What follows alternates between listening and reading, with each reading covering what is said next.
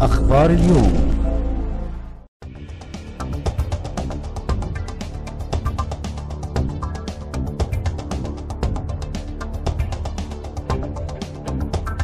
حاجات كتير. وانت بالصحة السلامة الأول وربنا يجعله رمضان كريم علينا وعلى الأمة الإسلامية أجمعين بس في حاجات كتير كتير يعني عايزين نتكلم فيها. عن إيه؟ أول حاجة قنوات اللي هي المصارعة وقنوات الأغاني اللي هي بتجيب الإعلانات اللي هي ملهاش لازمة. عيالنا الصغيرة إحنا ممكن في الشغل مامتهم مشغولة يجي الإعلان غصب عنهم الحاجات دي معروفة مكانها الصيدليات وكده.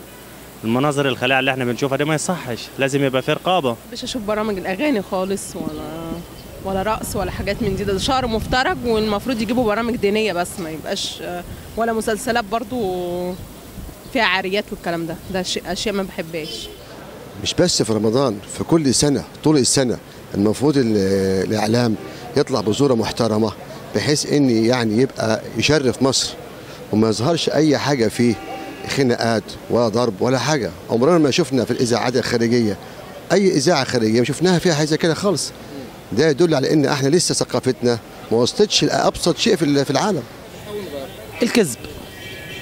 إحنا بقينا دلوقتي ممكن حد يسمع خبر من غير ما يتأكد منه فبيذيعوا بكل تفاصيله اللي هو سمعها مش شافها. فاحنا بقينا بنشتغل على السمعيات أكتر أكتر من الحقيقة أو الحاجة اللي إحنا بنشوفها بعينينا اللي إحنا ما عدناش بنتأكد. ما عادش عندنا حقيقة التأكد. بقى عندنا يعني نسمع ونبني قصيدة على اللي إحنا سمعناه. بس طبعا الجانب الديني اللي إحنا مفتقدينه حاليا لأن دلوقتي الإعلام يعني المسلسلات اللي بتيجي آه، في رمضان غير خاصة برمضان خالص. مش الجو الرمضاني خالص. مش حابب أشوف كل الإسفاف وكل الحاجات اللي هي مسلسلات عاريه وبرامج آه، الأستاذ توني والناس الناس القاهرة والناس الجريئة حاجات كده بصراحة ما تمشيش مع رمضان بتاعنا إحنا كمسلمين وك كأحفاد لعمر بن الخطاب. أنا بحب أتفرج على المسلسلات.